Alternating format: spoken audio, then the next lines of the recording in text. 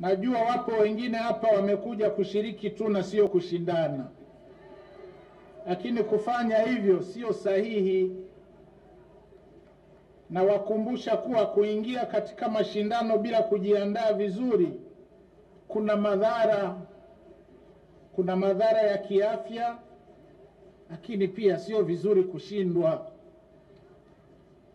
lakini vile vile ni matumizi mabaya ya rasilimali za serikali. Kwa hiyo viongozi, pelekeni timu kwenye mashindano na mpeleke timu ambazo mna uhakika wamejiandaa kwenda kushindana na sio kushiriki tu ili mradi mmeonekana kushiriki. Acheni kabisa utamaduni wa kuyatumia mashindano haya kama fursa ya kujipatia posho za safari. Ninawataka viongozi wa wizara, idara na taasisi za serikali ambao hawakushiriki katika mashindano haya ya mwaka elfu mbili na ishirini na moja. Wajieleze kwa Mheshimiwa Waziri Mkuu na nakala ya maelezo hayo yawasilishwe kwa Katibu Mkuu Kiongozi ambaye ndiye mlezi wa shirikisho la michezo hii ya Shimiwi.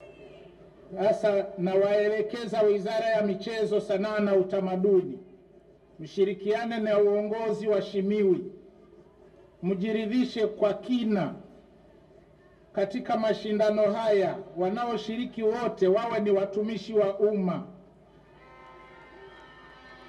na kama mkibaini kwamba yupo asiye mtumishi wa umma katika mashindano haya, basi mpeleke taarifa haraka kwenye mamlaka ya kinidhamu na hatua kali zichukuliwe, kwanza kwa huyo mshiriki, lakini pamoja na viongozi wote waliohusika kufanya hivyo. Na matarajio ya serikali ni kuwa ushiriki wenu kwenye michezo hii utasaidia kujenga na kuimarisha uchumi wa taifa, utaimarisha afya za wafanyakazi, kujenga tabia ya kushirikiana na kupendana na undugu kama ilivyo jadi yetu wa Tanzania, lakini pia kujenga taifa lenye nidhamu, kujenga uhusiano, uelewano na mshikamano wa taifa.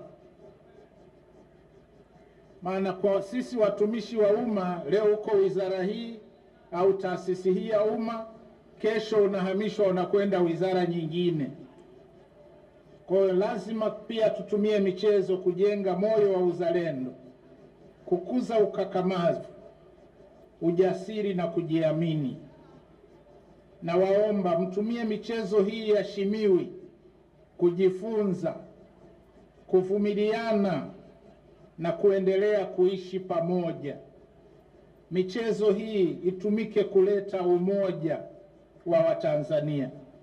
Watumishi hupata nafasi ya kujifunza na kubadilishana mbinu za utendaji kazi, kwa sababu watumishi wengi wa ngazi za chini hawapati nafasi ya kusafiri na kukutana na watumishi wenzao. Kwa kushiriki bonanza na michezo, hupata nafasi ya kukutana na wenzao, kujifunza na kubadilishana mbinu za utendaji.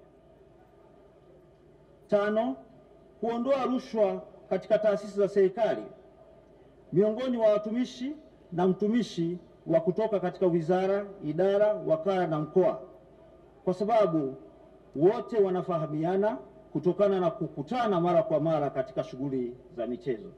Wow, Iringa ni mji mzuri kweli kweli, ila ni wapi nitapata hoteli ya kitalii? Ni Iringa Sunset Hoteli, hoteli yenye hadhi ya kisasa kabisa na ya kitalii yenye ubora mzuri mkoani Iringa. Ukifika Sunset Hotel Iringa utapata vyumba mbalimbali na vyenye hadhi mbalimbali kama vile executive rooms, deluxe rooms na standard rooms. Pia kuna mgahawa wa chakula wa kisasa kabisa ambao utakuwezesha wewe mteja kupata vyakula vizuri na vitamu kuanzia kifungua kinywa mpaka chakula cha jioni. Ndani ya Sunset Hotel kuna baa mbili zenye ubora bora, bila kusahau wale wenye shughuli mbalimbali kama vile mikutano na semina na mengineyo. Unaweza kuwasiliana nao kupitia namba 0743359971 au 0742240555. Email yetu ni iringa iringasunset@gmail.com au info at iringasunset.com na website ya kwetu ni www.iringasunset.com na tutembelee katika mitandao yetu mbalimbali ya kijamii Facebook na Twitter kupitia jina moja la Iringa Sunset. it.